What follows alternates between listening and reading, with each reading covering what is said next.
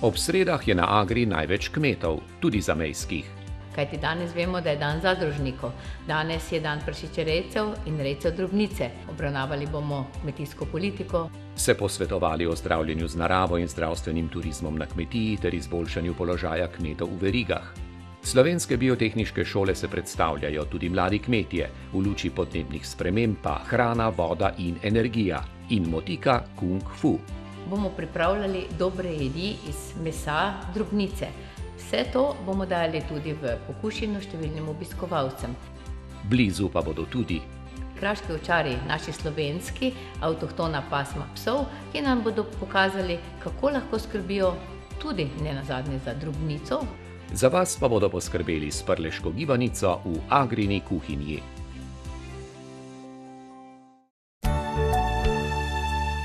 Autorajh, pooblaščeni prodajalec in serviser Fordovih in Citroenovih vozil, predstavlja na sejmu Agra. Novo Ford Fiesto, tehnološko najbolj dovršen avto tega razreda v Evropi, saj ponuja kar 15 sofisticiranih tehnologij za pomoč pri vožnji. Na sejmu jo dobite že za 10.570 evrov naprej. Novi Ford EcoSport s tehnologijo, ki omogoča sproščujočo vožnjo brez stresa. S financiranjem Ford je lahko vaš že za 14.800 evrov novi Ford Focus, službeni in slovenski avto leta 2019.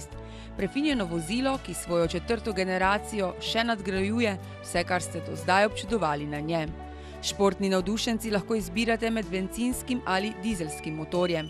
Pripravili pa so tudi posebno ponudbo, s katero prihranite 2700 evrov in pa vplačate takoj, pa pa šele čez dve leti in to brez obresti. Novi Ford Mondeo Hybrid uporablja dva vira energije, motor z gorivom in električni motor. Premišljena zasnova, pametna tehnologija in prestižni inženirik omogočajo, da prepozna, kdaj je najbolj optimalen trenutek za prehod iz benzina na električno energijo. Ford Ranger, njegovo udobje in varnost potrjuje 5 zvezdic Euro NCAP, cesta ali brezpotje, to zanj sploh ni dilema novi Ford Mustang, američan v Evropi. Kupe ali kabriolet s popolno uravnoteženim volanskim obročem, največji užitek v vožnji. V času sejma vam poleg razstavljenih vozil nudijo še ostala Fordova vozila po izrednih cenah s petletnim jamstvom, brez omejitve kilometrov in petletno mednarodno asistenco. Še novi Fordi, ki prihajajo: Puma, Ranger Raptor in Kuga, ter še nekaj skrivnosti. Seveda pa si lahko ogledate tudi med kupci v Pomorju zelo priljubljena Citroenova vozila, ki jih odlikujejo varčni motori, nizki izpusti, atraktivne oblike in dobre vozne lastnosti. Najmanjši C3, večji C3 Aircross, edinstveni C4 Cactus, družinski enoprostorec C4 Space Tourer in njegov večji brat Grand C4 Space Tourer, vsestranski Berlingo in novo športno terensko vozilo C5 Aircross. Za potrebe gospodarskih subjektov pa sta tu še gospodarski vozili Berlingo in Jumper. Izkoristite dodatne sejemske popuste na vsa osebna vozila, kot tudi popust do 1000 evrov v primeru Citroen financiranja, kjer vam podarijo še pogodbo o podaljšenem jamstvu. Obiščite razstavni prostor Autorajh v Hali B1 ali prodajna salona v Murski soboti in Ljutomeru ter se dogovorite za testne vožnje.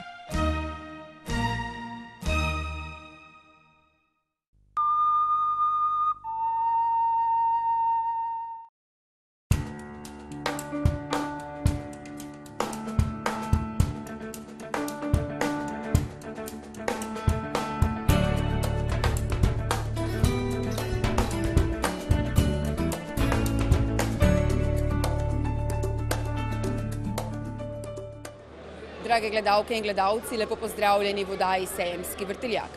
Na začetku vam predstavljamo, kako lahko sateliti pomagajo v kmetijstvu. V nadaljevanju si pogledajte pogovor z eno od evropskih junakin, na koncu pa smo se pogovarjali s predstavnikom Pomorskega sejma.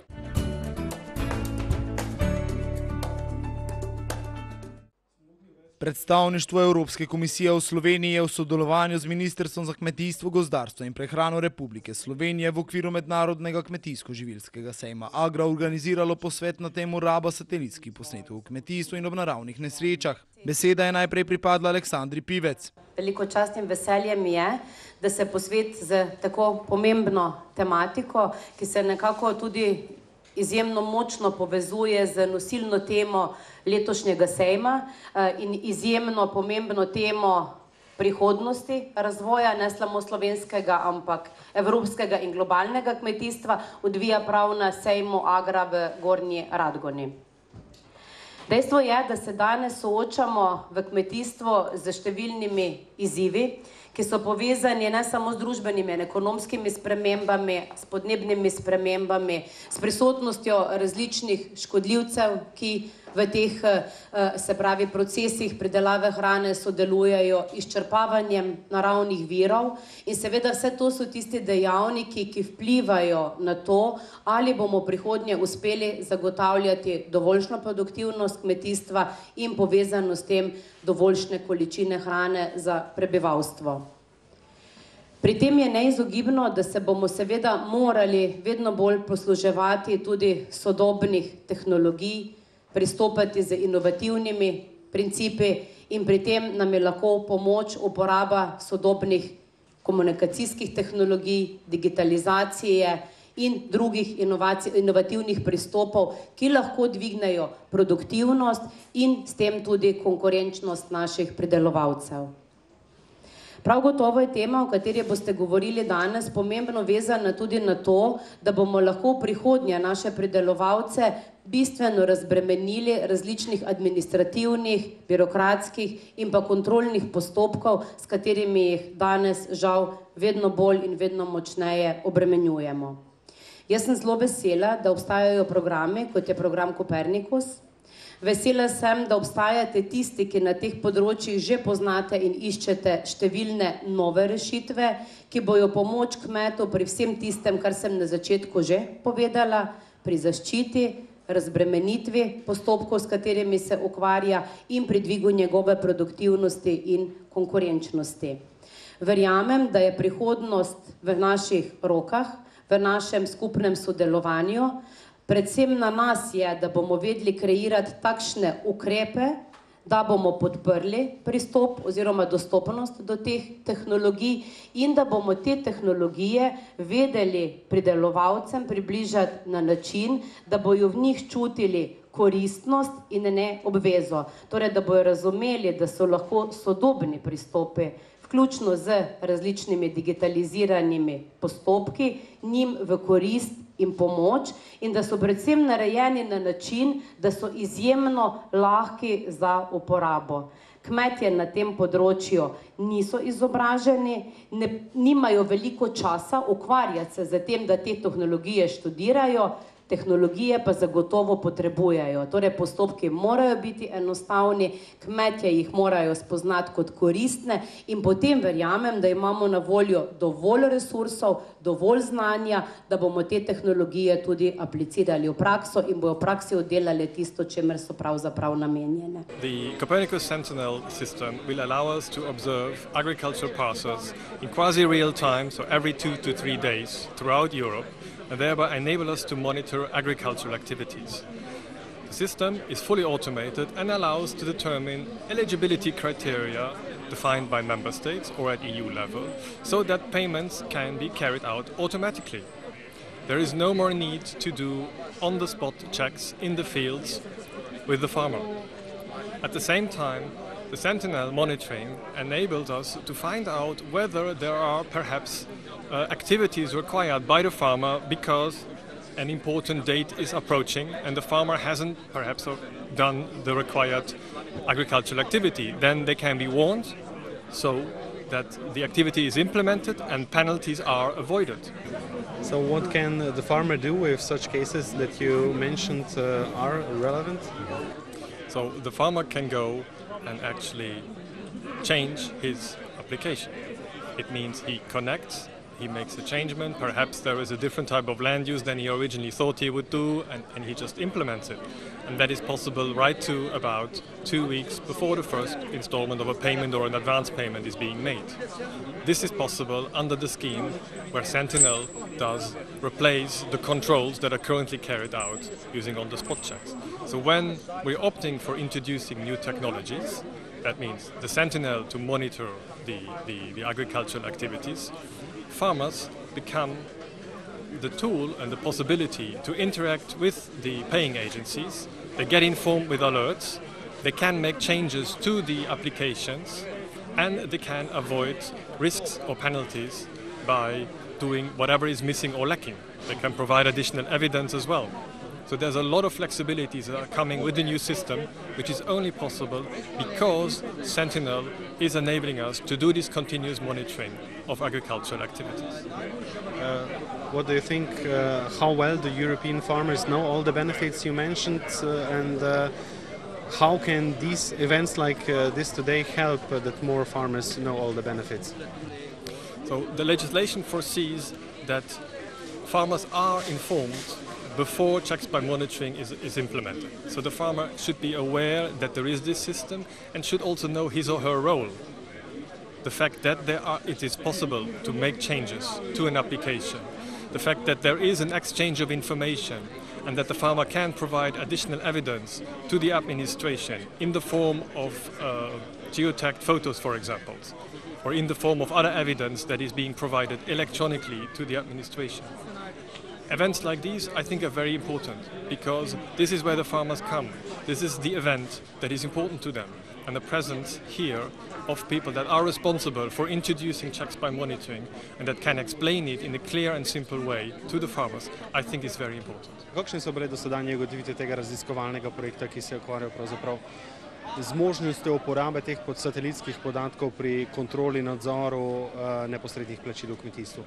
Torej, glavna ugotovitev je, da satelitske posnetke konstelacije Sentinel 1 in 2, za glavnem trenutno delamo z dvojko, lahko uporabimo za recimo ločevanje posameznih posevkov med seboj. To deluje, precej zanesljivo v časovni vrsti. Ne. Tudi recimo aktivnost na posevki, na polinah lahko določimo. Torej, kdaj so rastline rasle, kdaj so dozorele, kdaj so jih pobrali. Te zadeve lahko precej visoko zanesljivo to ločujemo med sabo, oziroma jih določimo v časovni vrsti. In kaj bi bilo potrebno storiti, da bi lahko ti podatki dejansko prišli tudi v neposredno uporabo, da bi se dejansko torej uporabljali za kontrolo, da ne bi bilo več potrebnih kontrol na terenu, fizičnih kontrol na terenu? V bistvu zakončati naš raziskovalni projekt za začetek, da tudi razvijamo te metode, da bo zadeva dejansko delovala. Potem pa je enostavno stvar samo še na implementaciji. Naš cilj je doseči avtomatizacijo tega procesa. Žal tukaj ne bo rešitve z enim programom, ki bi to sam delal od sebe. Še vedno je potrebno programiranje, še vedno je potrebno pač napisati ustrezne skripte, da se zadeve avtomatično izvedejo. Ampak, ko je to narejeno, pa stvar teče več ali manj avtomatično lahko. Pač, ko potrujemo podatke, zaženemo in dobimo ven karte, ki jih želimo z vsemi bazami podatkov od zadaj. Kmetje bi pravzaprav s tem nekako pridobili, bi pomenilo to za njih neka razbremenitev ali pa nek občutek dodatnega nadzora od zgoraj. Zagotovo, definitivno dobijo dodatni vir informacij. Konec koncev Sentinel ima sicer prostorsko ločljivost 10 metrov, kar ni idealno, ampak še vedno pa je dovolj, da lahko določimo na polinah, kaj se dogaja, kje, ali recimo kje je kak stresor prisoten, ali recimo polovica poline prejema premalo vode, karkoli takšnega. To se iz teh podatkov da razbrati. Tako že to je en dober vir informacij za uh, posamezne predelovalce. To v bistvu principi preciznega kmetijstva so to. Uh, drugo pa je, da namen vsega tega monitoringa z daljinskim zaznavanjem v bistvu ni nadzor kot tak, da bi zdaj prav kontrolirali, kaj ljudje dela, da bi lahko vsakemu, da bi ga po roki udarili, ti si nekaj narobe naredil. Ne gre se za to. Gre se za to, da lahko pravočasno obvestimo, oziroma da lahko potem agencije pravočasno obvestijo predelovalce, da mogoče prijavna vloga ni v redu, da je mogoče treba kaj popraviti, da pač pridemo do tega, da se ne bi kaznovali ljudi, ampak da se skupaj z predelovalci stvari popravijo. To je iz stališča agencije glavni cilj. Tudi verjetno v primerih, če mogoče kmet nekaj dni zamuja s kakšnim opravilom, s kakšnim posegom, da se ga opozori, da je v skladu z vlogo potrebno kaj postoriti na njivi. V bistvu gre za to, da se ga opozori, preden bi prišlo do zamude. Tako že pravočasno, da se iz posnetkov se lahko vidi, ali je bila stvar upravljena ali ne. Če ni bila upravljena, pa recimo še en teden časa, dva tedna časa, se pač opozori, prosim, dajte to urediti. Da ne bi prišlo do sankcij kot takih, ampak da bi se pač enostavno z predelavci skupaj našlo rešitev, oziroma prišlo do za pridelovalce konec koncev ustrezne rešitve. Kakšne so ocene, v kakšnem časovnem roku bi lahko tak sistem, ki ga zdaj opisujemo, zaživel tudi dejansko v praksi? Ja, naš končni rezultati projekta bodo znani naslednje leto. Eh, zadeve bi začele se poskusno potem teči na državnem nivoju, lahko tudi že naslednje leto, mislim, da pa je cilj agencije, da bi stvar stekla kje v 2021. Ampak potem bodo točno, kakšna je zdaj časovnica tega, bodo več vedeli na ministrstvu. Recimo. V katerih naravnih katastrofah v zadnjih letih so pravzaprav vse pristojne službe v Sloveniji lahko učinkovito uporabile podatke iz satelitev Kopernikus in eh, kako so ti podatki lahko pripomogli k učinkovitejšemu reševanju? Ja, po polni operativni uporabi Kopernikusa v 2012 je Slovenija trikrat v letu 2014 zaprosila uh, za mednarodno pomoč v tem kontekstu. Uh, predvsem tukaj smo imeli potreba po informaciji o razširjenosti poplav, ki so bile posledica predhodnega žledenja. Eh, sicer v kakšnih primerih menite, da bi lahko ti podatki še prišli v prav, seveda si ne želimo kakšnih podobnih naravnih nesreč, ampak vendarle, kako lahko ti podatki uh, pomagajo pri učinkovitejšem reševanju? Danes smo na posvetu slišali, kako hiter razvoj Kopernikus doživlja v zadnjih letih, uh, tako da sem jaz pripričan, da bo spektr uporabe v območju obladovanja nesreč postal vse večji. Danes lahko dobimo dobre informacije strani Kopernikusa uh, za primer poplav, uh, potresov, uh, gozdnih požari, tudi neuri in pa mogoče visokega snega, kot je bil primer aktivacije Kopernikusa lansko leto strani Avstrije. Zanimivo bo videti, kako bo uporaba izgledala v praksi.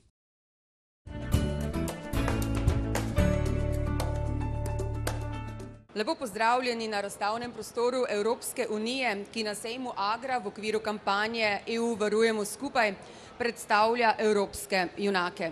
Evropska junakinja je tudi naša današnja gostja, gospa Irena Likar. Lepo pozdravljeni. Pozdravljeni. Torej, gospa Irena Likar je del ekipe Notranjskega regijskega parka, ki v svoji viziji navaja, da želi postati najuspešnejši slovenski naravni park in svetovno prepoznano zavarovano območje, ki je v ponos lokalnim prebivalcem. Kot vodja projekta Live Stržen, financiranega iz evropskih sredstev, si gospa Likar prizadeva za povrnitev prvotne glavne struge presihajočega Cerkniškega jezera. Gospa Likar, že sam pogled na spletno stran uh, Live Stržen uh, kaže, da gre za zelo razdelan projekt, ki posega na več področji, Eh, katere so po vašem mnenju tiste ključne aktivnosti, ki bi jih bilo potrebno mogoče posebej izpostaviti? Eh, lepo pozdravljeni. Eh, gre za zelo kompleksen projekt, lahko pa se ga razdeli na tri dele in sicer ključna aktivnost je, da se v prvotno stanje povrne v preteklosti prekopane vodotoke, ki so bili prekopani v kanal, Eh, s ciljem ljudje so želeli Crkniško jezero izsušiti eh, in eh, ga v tem projektu v sodelovanju s lastniki zemljišč, kmeti, poskušamo preusmeriti nazaj v prvotno strugo.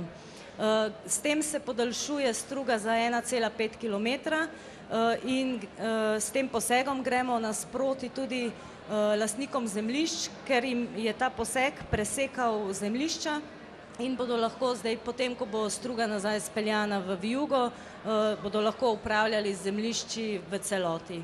To je recimo eden izmed uh, ključna aktivnost projekta, potem so pa uh, dodatno je uh, komunikacija z domačini, ogromno imamo predvidenih nekih aktivnosti, uh, sodelujemo s šolami, v, vzpostavili smo projektni svet, v katerega smo vključili uh, ribiče, lovce, uh, lastnike zemljišč, predsednike agrarnih vaških skupnosti, se pravi praktično vseh zainteresiranih domačinov. Uh, in na območju, kjer se vzpostavlja strugo, kjer se nazaj vijuga struga na tem območju, je to izjemno gnezdišče in edino gnezdišče v Sloveniji za skrivnostno ptico bobnarico, to je prisotna v Sloveniji zgolj v treh eh, gnezdečih separih eh, in eh, se bo na tem območju z usmerjenim vodenjem in upravljanjem zemljišči v sodelovanju s kmeti dogovorilo, kako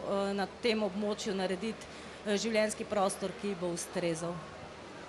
Da bi projekt, kot je Life Stržen, v celoti uspel, je gotovo potrebno sodelovanje in vključevanje različnih deležnikov na področju trajnostnega razvoja. Kako ste se vi soočili z omenjenim izzivom? Preden smo se lotili pisanja tega projekta, smo v bistvu eno do dve leti sodelovali in komunicirali z domačini, predvsem z lastniki zemljišč, ribiči, lovci, te, v bistvu te deležnike, kot sem jih omenila. In v in vzpostavili smo tudi, se pravi projektni svet, da se posluša njihova mnenja in zgolj skupaj z njimi oblikovali projekt tak, kot smo potem dobili finance za njegovo izvajanje.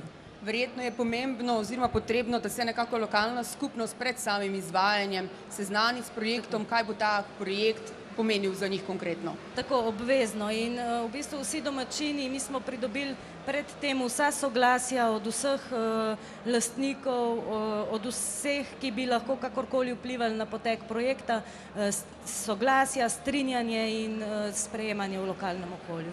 Cerkniško jezero je vključeno tudi v mrežo Evropske unije Natura dva tisoč. Dejansko Natura dva tisoč predstavlja steber varstva narave v Evropski uniji. Se strinjate s tem dejstvom oziroma s to trditvijo?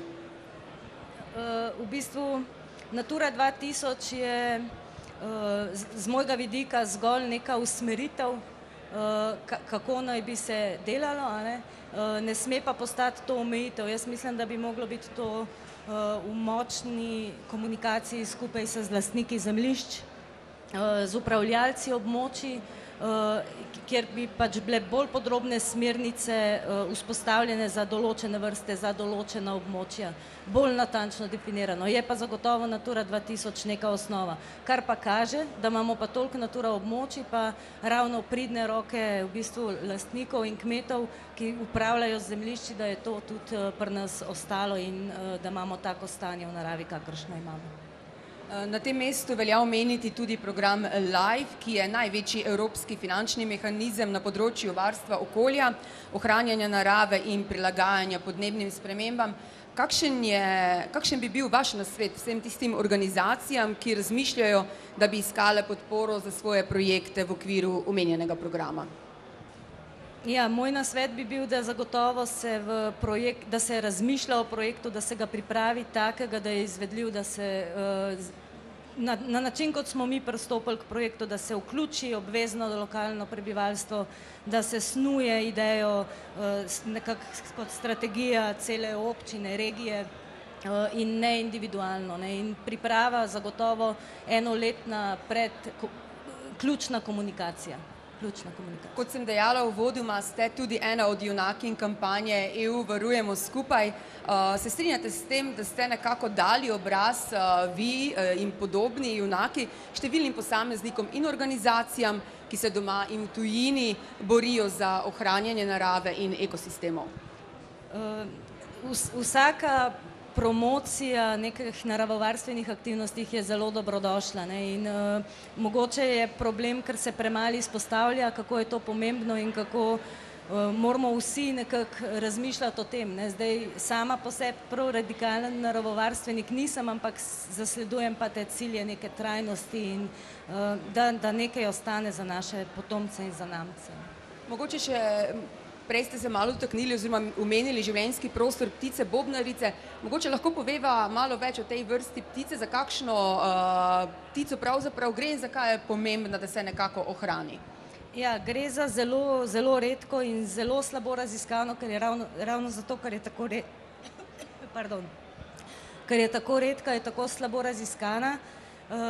Gre pa za krovno vrsto ptic, ki živijo v trstičju, se pravi, ne vem, če poznate recimo kosca, kosec je zelo poznan po subvencijah zaradi tega, ker pač potrebuje košene travnike, bobnarica je pa ravno nasprotje tej vrsti ptice, ko pa rabi zaraščene površine in da se, da se najde neki kompromis. Je krovna vrsta večine ptic, kar pomeni, da je na samem vrhu verige, da s tem, ko se varuje bobnarico, se varuje še vse ostale vrste, ki potrebujejo podobne življenjske prostore. Zakaj pa je Natura 2000 vrsta, je edina, edino gnezdišče je na Cerkniškem jezeru, zato smo na njo še posebej ponosni. In v bistvu, da se najde kompromis, ker Cerkniško jezero, če, če poznate, ne, je večinoma usmerjeno na košnjo, je obsega dvajset dvajset kvadratov, dvajset kvadratnih kilometrov površin in kmetje tukaj kosijo, uveljavljajo KOPOP ukrepe in se mogoče je majčkeno pozabilo na tudi druge vrste ptic, ki pa rabijo nepokošena zemljišča, zato ta nekako utež, protiutež koscev. Kako dolgo se že sami nekako ukvarjate s to problematiko Cerkniškega jezera? Ja, Notranjski park je v bistvu v preteklosti so bili prekopani praktično vsi vodotoki Cerkniškega jezera na, na, na se pravi nekje štirinajst kilometrov dolžine in v letu dva tisoč sedem smo začeli in pridobili tehnično dokumentacijo za, da se nazaj zvijuga vse vodotoke in od, se pravi od leta dva tisoč sedem naprej, zdaj to je tretji vodotok, ki se ga pač popravlja. Katere so še mogoče tiste aktivnosti, načrti za prihodnost? Ja, načrtov imamo zdaj ogromno, ne, s tem bi radi tudi, konec koncev bi radi tudi povrnili vse vodotoke v prvotno stanje, kot je bilo. Mislim, da zdaj pa naslednji korak pa so nekako komasacije na Cerkniškem jezeru, da bi se šlo nasproti lastnikom zemljišč, ker so zemljišča zdaj močno razdeljena in razfragmentirana, da bi se pač poskušali v, v pogovoru z njimi nekako to narediti zaključene enote, kjer bi imeli lastniki zemljišč ob vaseh večje površine, s katerimi bi lahko upravljali, Notranjski park pa v notranjosti Cerkniškega jezera, ki je za kmetovanje nezanimiv, no. Kako je pa sicer zanimivo Cerkniško jezero za turizem? Za turizem je zelo zanimivo Cerkniško jezero, zagotovo je tudi v bistvu v našem projektu tudi del tega namenimo, se pravi, bomo vzpostavljali neko infrastrukturo na Cerkniškem jezeru, ker zdaj praktično na jezeru ni ničesar, ni infrastrukture in se bo postavilo neke točke, da se bo ljudi preusmerjalo iz teh najbolj občutljivih območij Cerkniškega jezera na obrobje in da bo tudi nekako zaživelo možnost turizma, možnost razvoja turističnih storitev in produktov, kjer bo park tudi v bistvu lastnikom kmetij in ostalim pomagal in jim že pomaga oblikovati neki produkt, ki ga lahko potem tudi tržijo na dogodkih, ki jih potem Notranjski park tekom vikenda ali pa v obdobju celega leta organizira. Zavedanje o pomenu varovanja okolja se vedno bolj prebija v ospredje, tako na ravni posameznika kot tudi družbe. Bo to dovolj oziroma smo se dokončno zavedali tega, da moramo pustiti nekaj tudi za prihodnje generacije? Ja, to kar težko odgovorim, ampak ja, zavedanje je zagotovo boljše. Sem pa prepričana, da še vedno ne, da, da, da ljudje še vedno niso dojeli, kako zelo pomembno je ohranjati naš planet, ne, in mogli se bomo vsi kot vsak, vsak posameznik naučiti živeti bolj skromno, ne, in iti iz tega mehurčka udobja in mogoče razmišljati vnaprej. Dokler pa bodo ideje o tem, da bomo šli na Mars, pa je to kar zaskrbljujoče. Če se mogoče še nekako dotakniva, dotakneva te vaše funkcije evropske junakinje, je zagotovo to eden od dobrih primerov oziroma dobrih korakov, kako ljudem približati projekte, ki so nekako financirani iz evropskih sredstev. Ja, v bistvu je super, no, super je, da se pač predstavlja projekte na dogodkih, kot je tukaj, ne, da se približa tistim ljudem, ki jim res želiš povedati in ki so ti tudi ključni deležniki, saj verjetno tukaj ni nobenega iz Notranjske, ampak pač dobro je, da se tudi ve in širi informacije tekom, širom Slovenije in da so vsi o tem seznanjeni. Verjetno je vaš projekt tudi nekako lahko dober primer prakse in se lahko prenese na vse dele oziroma preostale dele Slovenije. Tako, zagotovo, zagotovo, to, kar se pač naredi pri nas, a ne, se lahko naredi tudi v drugih parkih ali pa občinah, ne, vsak s svojim primerom in da si najde, da je tukaj, da si tudi izmenjujemo informacije, ne, kako pridobiti evropska sredstva, ker to je škoda, da pač nam to ostaja in da se, da potem druge države v bistvu koristijo sredstva, ki so namenjena nam. Je, je pa ključno se, recimo pri nas je problem ker nam potem očitajo, ne, ja pa zdaj trapasto boste dali ne vem toliko in toliko denarja v struge, ne, je treba pa vedeti, da, je, da so uh, projekti izključno naravovarstveni, ne, da to ne pomeni, da če ti dobiš ta sredstva, da lahko s tem urediš kanalizacijo in ostalo, ne, da so to projekti res za naravovarstvo in škoda, da se ne, uh, da se ne koristi ta sredstva v celoti, da pač denar vračamo. Gre nekako tudi za dolgoročne projekte, oziroma ki bodo imeli dolgoročne posledice. Tako, to v vsakem projektu moraš ti dokazati ne, in imeti eh, zagotovo dolgoročne, desetletne in še dokazovati petletne uh, rezultate po projektu.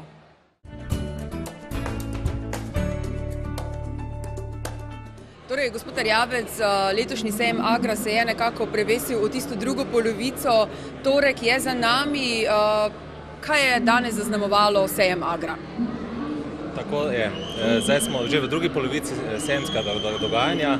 Torek je predvsem znan po tem, da je dan vinarjev, vinogradnikov, tako da je bilo zelo pesno na to tematiko. Bila so razna e, poslovna srečanja, hkrati so se odvijale zelo zanimive okrogle mize na tematiko vinogradništva in vinarstva, trenutno stanje, kakšno je v vinarstvu in vinogradništvu. Hkrati smo imeli tudi zelo pomemben podarek tudi na sadjarskih dogodkih, tako je bil sadjarski posvet, hkrati seveda zelo pomembna institucija Sejma Agra je seveda Kmetijsko-godarska zbornica Slovenije, ki je imela tudi svojo prireditev in eh, lahko moče še podarim, da so danes imeli na maneži svoj dan eh, konje. Tako da smo imeli tudi prikaz eh, preskakovanja v vir, eh, tudi Ljutvenski kasar se je predstavil, tako da je bilo kar, pestro z tega vidika pestro dogajanje za obiskovalce, prav tako pestro dogajanje pa jih čaka jutri v sredo. Uh, kaj si lahko obetajo obiskovalci v sredo, komu oziroma čemu bodo namenjene glavne tematike? V sredo imamo že tradicionalno tudi srečanje zadružne zveze, e, tako to je že neki tradicionalni dogodek, kjer je vedno privabi kar visoke tudi politične udeležence. E, imamo pa tudi seveda dan prižičevejcev, dan drobnice, e, tako da bo spet seveda zelo zanimivo in pestro. Je mogoče kakšen od dogodkov, ki bo potekal jutri, ki bi jih še posebej izpostavili, oziroma ki bi ga posebej izpostavili, na katerega bi nekako povabili obiskovalke in obiskovalce? Eh, zdaj, vsekakor je polno zanimivih dogodkov. Ne, ta, ne, mora, ne smemo pozabiti, dejansko, da je potem to še samo skoraj, da, mislim, pred zadnji dan, tako da bi bilo škoda, da bi zamudili vsa ta zanimiva srečanja, eh, dogajanja, eh, svetovanja, ki jih nudimo, ne, tako ogled naših lepih sejemskih vrtov, kakor tudi predstavitve vseh teh živali in hkrati seveda vseh teh razstavljalcev, ki jih ponujamo na sejmu, ne, ki jih je 1850 ne, in uh, bilo škoda, da bi to zamudili. Če mogoče za konec nekako, kljub vsemu, da nas še dva dneva čakate do konca, kako ste za zdaj, za enkrat zadovoljni z obiskom, samim dogajanjem na sejmu Agra? Na sejmu Agra je, smo letos zelo zadovoljni, uh, saj je do sedaj bilo, lahko rečem, malo više, večje število obiskovalcev kot preteklo leto. Upam, da se seveda to nadaljuje še potem tudi v, v jutrišnjem dnevu. Tako da in seveda do konca do četrtka. Vreme vam letos tudi služi. Tako je. Vmes smo imeli en manjši, manjši, manjšo padavino, osvežitev. ja, osvežitev, tako je. Zdaj se, napadujejo zelo topli dnevi, tako da upam, da, da bo vse znosno in e, lepo, da bo to privabilo tudi dodatne obiskovalce. Prav, najlepša hvala za obisk v našem sejemskem studiu. Hvala tudi vam. Vam, drage gledalke in gledalci, pa hvala za pozornost in kot ste slišali, vabljeni na Agro tudi jutri. Nasvidenje.